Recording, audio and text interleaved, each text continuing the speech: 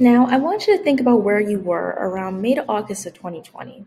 And it's kind of crazy that that was two years ago, right? But there was a lot going on at this time. I mean, we're a few months into a global pandemic that takes us out of physical school for a while. Um, COVID's become a thing. Race relations are at an all time high. And it was a very, very dark time, especially since the only real contact we have was social media. And it was a very, very bleak time for anybody. But for me in particular, I grew up in this sort of time frame just as much as the rest of you. I worked with a lot of organizations like Philadelphia Student Union and Herb Ed as a rising junior in high school. I attended many Black Lives Matter rallies, and I truly did my best to be able to help Black and Brown youth in the city of Philadelphia. But in this time frame, you couldn't really be able to go on anywhere like TikTok, Instagram, Twitter, whatever, and not see some form of discussion around COVID 19 or Black Lives Matter, for example. But they were necessary. They were easy ways for us to be able to have discussions on things that were happening around our world. However, there was something that was going to come up that did sort of try to stop that, which are the assumptions of critical race theory, or CRT, and the censorship of controversial topics. Now, if you don't really understand why this is a big deal, let me give you a sitch. So basically, a lot of politicians felt that talking about things like Black Lives Matter, race relations, COVID 19, and how we should be staying safe, LGBTQ plus issues, you name it, they had a problem with it. Which kind of became ironic, seeing as if they had like they claimed that we were the you know sensitive ones, but whatever. Basically, it became an issue because they felt as if that people were being fed this woke propaganda or whatever they choose to call it. And it became a real difficult way for people to truly understand what was going on around them specifically with the fact that they made a bill in October 2022 and I am not joking when I say this this is an actual bill's name the Stop the Sexualization of Children Act. Yes that is the name. I wish I was joking the creator of that bill, Mike Johnson, said, quote, "The Democrat Party and their cultural allies are on a crusade to immerse young children in sexual imagery and radical gender ideology at school and in public." End quote.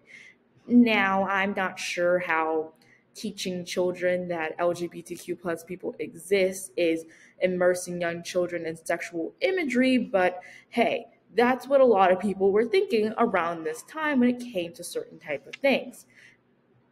They also took a huge thing towards critical race theory, which might I add is a law course nowhere near being taught in public schools, but they wanted to make you think that that's what was happening. Donald Trump even decided to talk about this for some reason and said, quote, it was a crusade against American history and ideological poison that will destroy our country.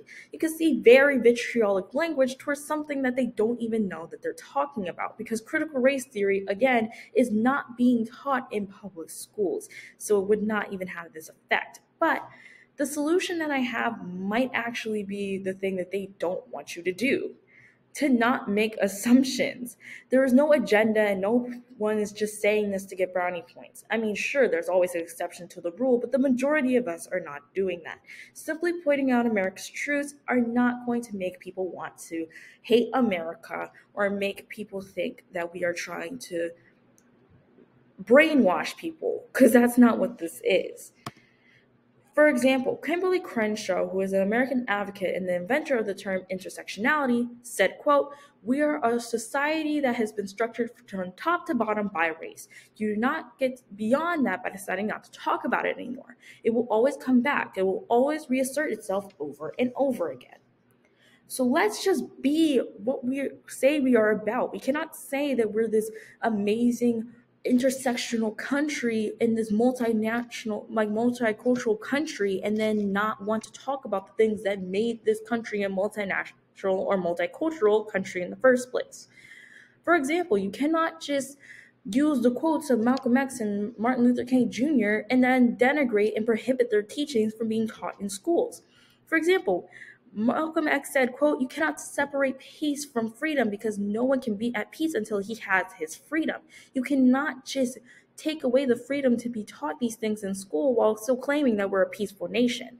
And one of the most quotable lines from Dr. King was, quote, drive darkness cannot drive out darkness. Only light can do that. Hate cannot drive out hate. Only love can do that. We cannot claim that we're this loving nation and then still perpetuate these things that are easily one of the most detrimental things in our society.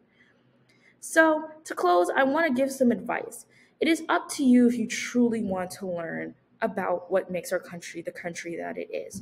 No one is saying that you have to be a straight, you know, radical thinker by any means. But to quote Michael Jackson, if you want to make the world a better place, take a look at yourself, then make a change. Thank you.